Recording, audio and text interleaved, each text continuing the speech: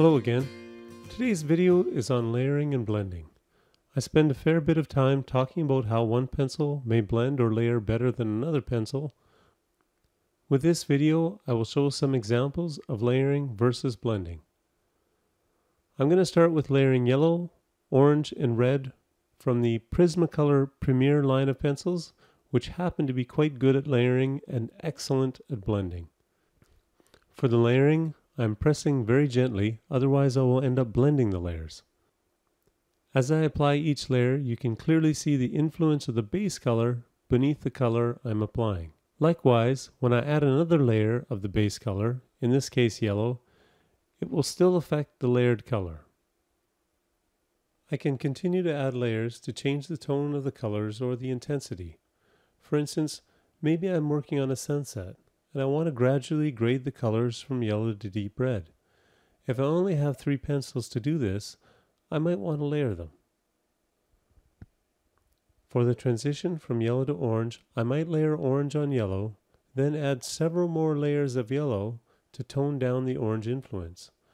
As I transition to full orange, I will reduce the amount of yellow layers and maybe start to add a slight red influence.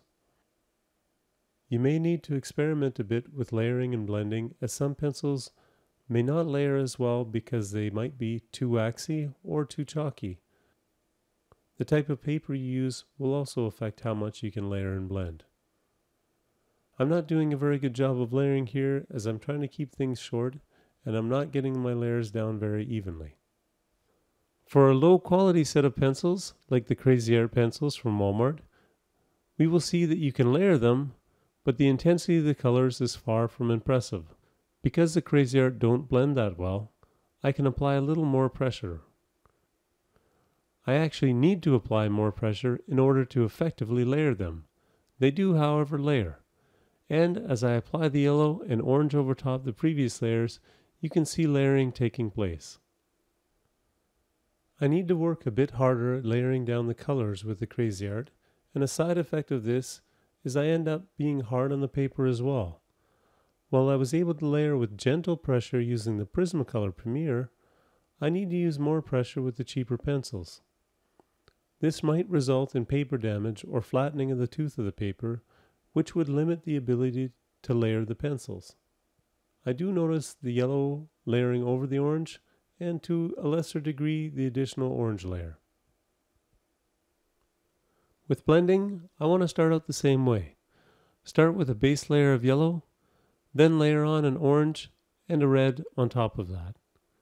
Prior to doing any blending, I want to be sure there is enough pigment on the paper to result in a fairly even blend.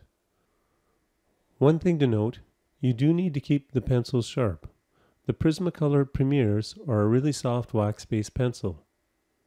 I have done a review or a comparison review of the Prismacolor Premiers versus the Prismacolor Artist Grade Scholar pencils, and I noticed then they were much nicer to work with than the Scholars. But you did have to spend a lot of time sharpening them. As you will see later in the video, I still think the Prismacolor Premiers are great pencils to work with especially if you are combining them with other sets of colored pencils that do hold a sharp tip.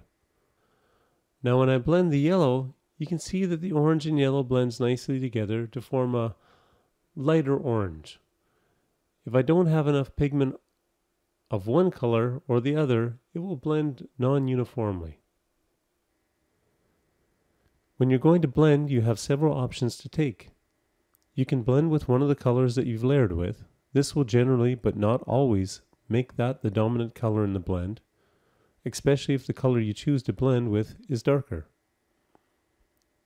You can opt to blend with a colorless blender. I use the Prismacolor Premier colorless blender, or you can blend with a white colored pencil. Blending with white will often lighten the color depending on what white pencil you're using. If you really want to tone things down, then I would use the Prismacolor Premier White which I have used here.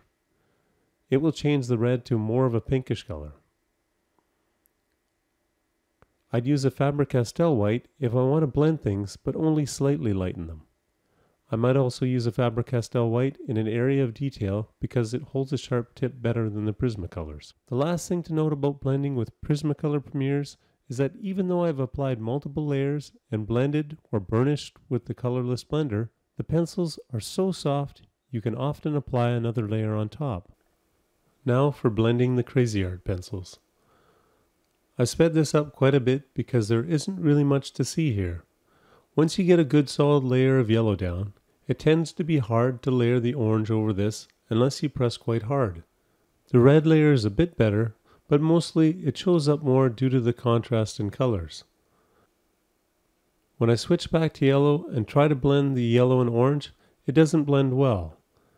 There is some blending going on, and it does look blended relative to the layered example above. However, applying so much pressure results in flattening the tooth of the paper, which prevents any more layering. The chalky pencils also tend to not produce intense colors and result in a fair amount of crayon dust and bits being deposited on the paper. Lastly, because they are so chalky, the blending tends to be non-uniform. Where the Prismacolor Premiers allowed you to layer colors on top of the blended color, the Cra-Z-arts can't produce the same result.